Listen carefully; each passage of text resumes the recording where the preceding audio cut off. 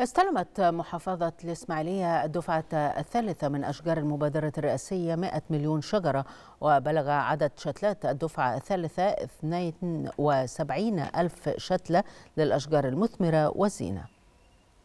يجوب قطار المبادرة الرئاسية 100 مليون شجرة المحافظات واستقر هنا بمحافظة الإسماعيلية التي تسلمت الدفعة الثالثة من أشجار المبادرة. وتهتم المبادرة بنشر زراعة الأشجار في المحافظات ويبلغ عدد الشتلات في الدفعة الثالثة 72 ألف شتلة للأشجار المثمرة وأشجار الزينة وذلك في إطار بروتوكول التعاون الموقع بين وزارتي التنمية المحلية والإنتاج الحربي لتوريد ثلاثة ملايين وسبعمائة ألف شجرة بتكلفة تكلفة تصل إلى 85 مليون جنيه. إحنا في محافظة الإسماعيلية اشتركنا في المرحلة الأولى ضمن مبادرة السيد رئيس الجمهورية لزراعة 100 مليون شجرة.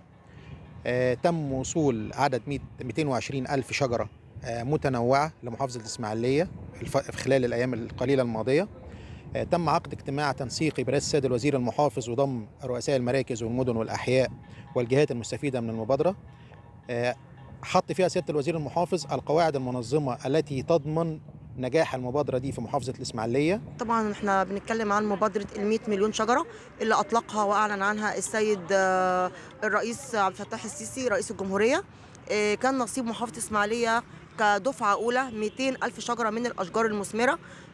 برتقال والزيتون والليمون والرمان والجوافة والنبأ من هذه الأشجار. كان محافظ الإسماعيلية قد شهد اصطفاف سيارات تحمل الدفعة الأولى من 200 ألف شجرة مثمرة وخشبية وذلك ضمن المبادرة كما تسلمت المحافظة الدفعة الثانية وبلغت 82 ألف شجرة وتستهدف المبادرة توفير بيئة نظيفة وصحية وآمنة للمواطنين وكذلك للأجيال القادمة. إحنا زرعنا أول شجرة وأنا كمواطن بحب أساعد دايما في الشجر ونزرع وحاجة جميلة إن إحنا نشجر بلدنا ونخضرها ونخلي المنظر جميل.